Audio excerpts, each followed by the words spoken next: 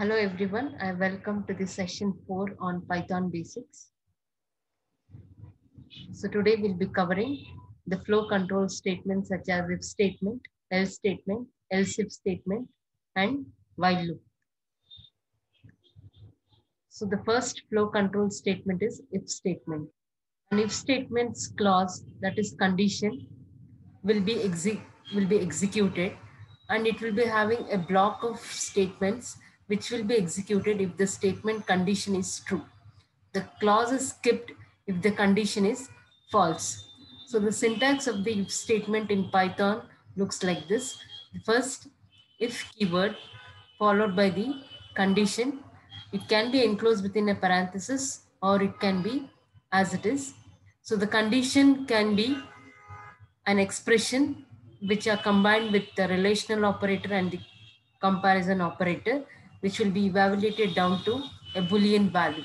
If the condition is true, then the set of statement below that if statement will be executed.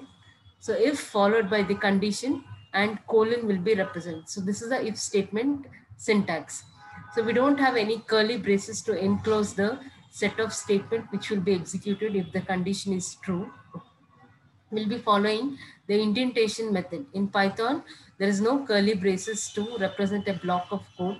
So instead of that, we'll be having an indentation. So all the statements which belongs to the if statement that will start with the same indentation. That is statement one and statement two will start with the same indentation. So the flowchart of the if statements look like this. This is an sample code for if statement. If name is equal to the Alice, then print hi Alice. So the first start and we have a diamond shaped where which represents the, the comparison or the condition. If the condition is true, then it will print hi Alice. Otherwise, it will be, the program will be end. So here, if name is equal to Alice, colon will come, print Alice. What is the else statement? So the else statement will be having some set of instruction that is a block. It is also called as a clause. The else clause is executed only when the if statement condition is false. The syntax of a if else statements of the flow control in Python looks like this. If condition followed by some set of statement, then the keyword else followed by a colon and some set of instructions. So we have both the clause related if the condition is true and also the, the clause related to the if the condition is false. Let's take the same example. If name is equal to Alice, print Alice, else you'll be printing hello stranger. We don't have any curly braces. So it starts with the same indentation. We are not supposed to start the print statement exactly below the if, then it is not considered as a part of the if. So you give some spaces. So indentation will be a little bit reduced to write the set of instructions. Start, if the name is equal to Alice, then print hi Alice. If it is false, then you'll be printing hello stranger. So this is a flowchart related to the else statement. Else if. So it provides another condition that is checked only if all the previous condition were false. At the part, at the else part, we have one more if statement to check for another condition. If condition, then some set of statements, then we have a else if. So what is else if is nothing but at else, again, we are checking for one more condition, okay, where the program can check for more than one possible conditions. Then statement 3 and statement 4 will be executed.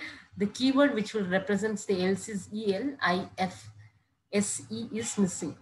Let's take the same example. If name is equal to Alice, then print hi Alice. Then again at the else part, if this condition is not true, then it will come to the else. And in the else part, we have one more condition, that is one more if statement is there. And we can print, you are not Alice, kiddo. So what is the meaning of this is, this is a nested if or it is a ladder of if else statement, you can continue in any level. So let's look at the flow chart. We'll start from the start and the name. The user will enter the name. If the name is equal to Alice, then you will print hi Alice and it will be come out from the if statement. If the condition is false, again we have one more condition that is his age is less than 12. If the condition is true, then you are not Alice kiddo and it will be printing. You'll be coming out from the if statement and you will say end. So this is about the else if. So any level, this if else if, if else if can be continued. While loop. A block of code executes over and over again using the while statement.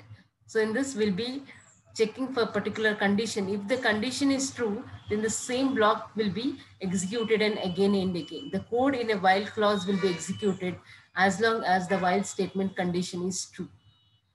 The syntax of the while loop is while followed by the condition and colon and we will be having the clause or you can also say a block of statement.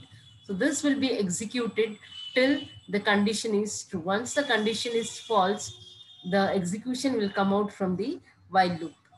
Let's take an example. So I've taken a, a variable spam. Spam is equal to uh, zero. While spam is less than five, colon. So the condition here is spam is less than 5. We have used a comparison operator where the spam will be compared with the 5 each and every time.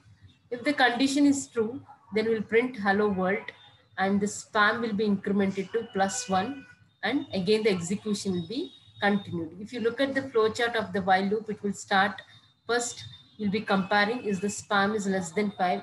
It's true then the clause related to the while loop will be executed over and over. So print hello world, then spam is incremented to one. From zero, it will become one. And again, the execution will be continued again and again if the condition is true.